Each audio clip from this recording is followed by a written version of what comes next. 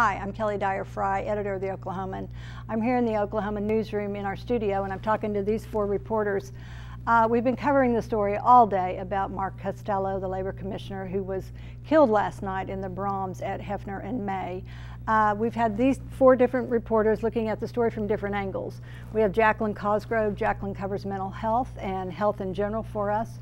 We have Nolan Clay, investigative reporter. We have Graham Brewer, he's our breaking news reporter. Uh, who attended the press conference today.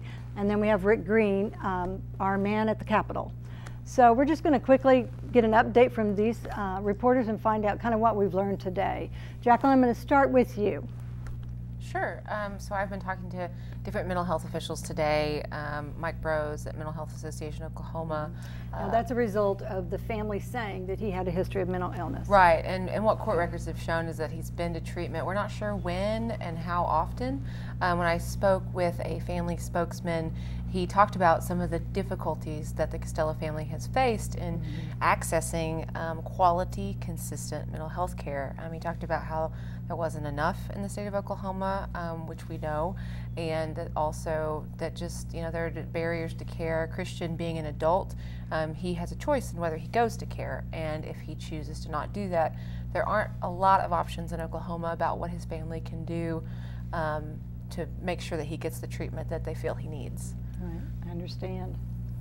Uh, Graham, you went to the press conference this morning. You mm -hmm. want to tell us a little bit about, did you learn anything new there? We didn't learn a whole lot new, but um, we did know that um, witnesses kind of intervened at one point. Uh, one new detail that we got this morning was that uh, some people actually used their car and SUV to, to block Christian from stabbing his father.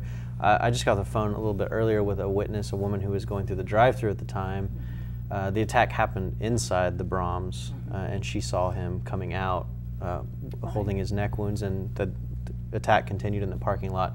That's where a group of witnesses were able to subdue him and hold him down until police arrived. Um, but other than that, we really don't know a whole lot about why they were meeting or what they were discussing, but we do know that they right. had agreed to meet and have a discussion. Okay. It was just a stone's throw away from where Christian lives.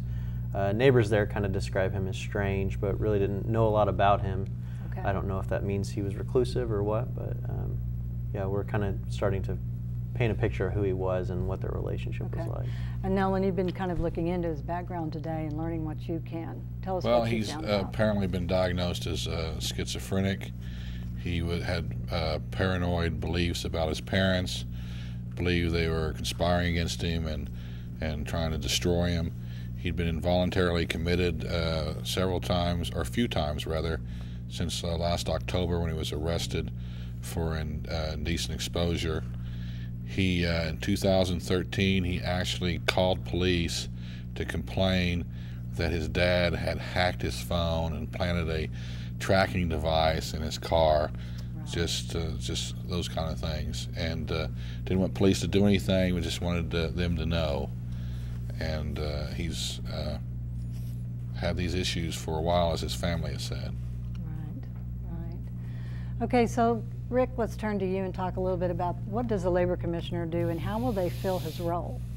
The labor commissioner is in charge of inspections across um, a wide range of industry in Oklahoma. For example, at the state fair, the rides out there, that's his office that inspects those rides.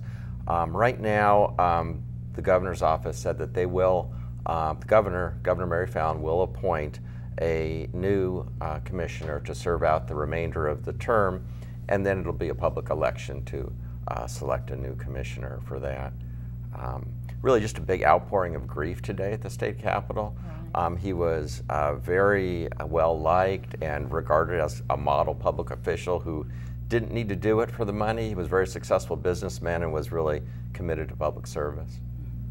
One thing that I feel like is important to point out is that most people with schizophrenia are not violent. Um, we hear about these things because they are rare, um, people with mental illnesses, especially who are not stable, are much likely to be victimized themselves. And so, one stigma that comes with schizophrenia is the idea that they're violent, and that's not true. We have friends and family who are schizophrenia, and we might not even realize it. So, it's one thing that okay. the mental health community has wanted to point out also. Well, thanks for pointing that out, Jaclyn. Well, he had been on he had been on medication. Don't know if he was off it, but he'd been on medication.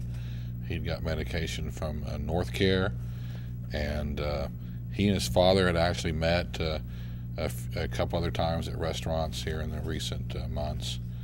And uh, the police said today they don't know what went wrong, but uh, the stabbing started there and, and continued into the parking lot, including at least once in the head. Well, stay with newsok.com and the Oklahoman. Uh, as you can see, we've got a, a fine team here reporting on this story, and we will continue reporting on it as more comes to light. Thank you.